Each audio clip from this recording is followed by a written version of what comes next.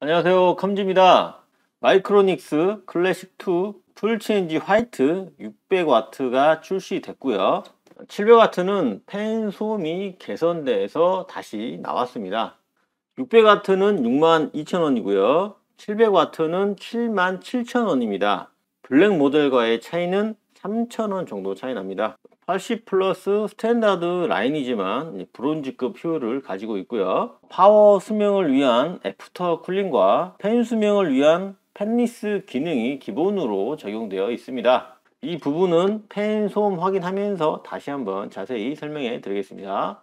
팬도 화이트로 되어 있고요. 케이블도 화이트로 되어 있습니다. 그리고 마이크로닉스 화이트만의 특징 커넥터까지 화이트로 되어 있습니다. 클래식2 같은 경우는요 5억 원 생산물 배상 책임 보험에 가입되어 있고요. 무상 보증 기간은 6년입니다.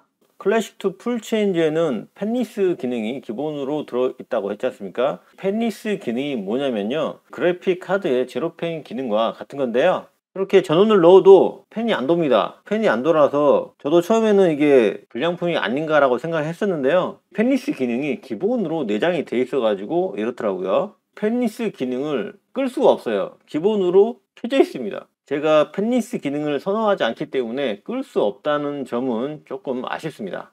그래도 기능이 들어가 있다는 건 좋은 거니까요. fanless 기능이 들어있기 때문에 평소에는 팬이 돌지 않고요. 파워의 온도가 올라가면 그때부터 펜이 돕니다. 그렇기 때문에 펜 소음을 확인하기 위해서는 얘를 좀 굴려줘야 돼요. 프로그램을 통해서 온도를 올린 다음에 펜 소음이 괜찮아졌는지 확인해 보겠습니다. 구독과 좋아요 눌러주세요.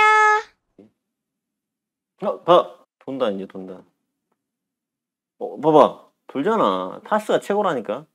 귀를 대면 돌려. 들리는데 굳이 귀에서 이제 들리는 것은 제외하고 여기서는 지금 그 전에 났던 그런 소리는 안 나요. 뭐 계속 돌려보죠. 멈출 때도 또 소리가 날 수가 있으니까. 안 도네. 소리를 못 들었을 정도로 조용하네. 지금 제가 한 대만 해보긴 했는데요. 펜 멈출 때나 시작할 때 시동 거는 소리 있잖아요. 그 소리는 안 나요. 확실히 바뀐 것 같습니다. 그래가지고 제가 600W도 하나 샀거든요. 600W도 확인해 보겠습니다. 일단 700W는 통과!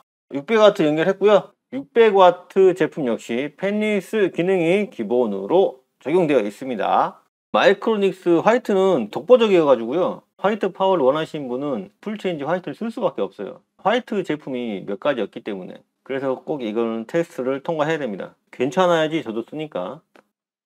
돈다! 방금 소리 하나도 안 났어요 돌 때 아 정말 조용하네요.